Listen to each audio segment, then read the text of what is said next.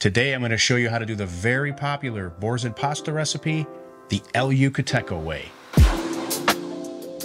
Welcome back to another El Yucateco recipe video, everyone. My name is Mike, and if you're not following us here yet, you're missing out. You're going to come back to this channel and you're going to be saying, my goodness, I missed out on all this good content. So go ahead and hit that follow button now so you don't miss out and you can get everything in real time. And don't fear, I'm to have all the details you need for this recipe down in the video description. To get started with this recipe, you're to need a baking dish. I'm using a 9x13. And by the way, this is a really good time to go ahead and preheat your oven to 425 degrees Fahrenheit. We're to add grape tomatoes, some roughly chopped red onion, and some roughly chopped garlic to this baking dish. Now, of course, the name of this dish is Boursin pasta, so we're going to be placing the Boursin cheese in the center of this dish. I went with the garlic and herb, but you can use any version of the cheese that you like. And we're also going to add some blocks of cream cheese to this for extra creaminess, along with red pepper flakes, oregano, salt, and pepper to taste, we are then going to cover that generously with olive oil, and we're going to hit this up with some El Yucateco Triple X Chili Habanero. This particular one of our sauces is the highest rated one on the Scoville scale, but you'll be amazed at how much flavor and kick is balanced in this sauce.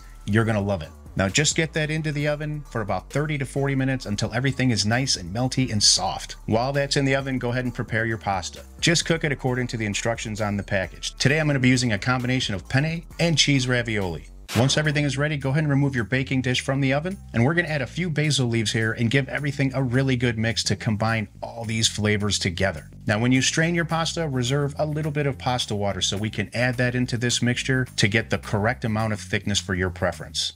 Now remember to add that just a little bit at a time because you can always add more, but you can't take it away. Then simply add your pasta. Now once it's all combined, it's time to serve it up. Oh, this smells terrific. This is gonna be good. Let me just serve a little of this up. Cheers, everyone.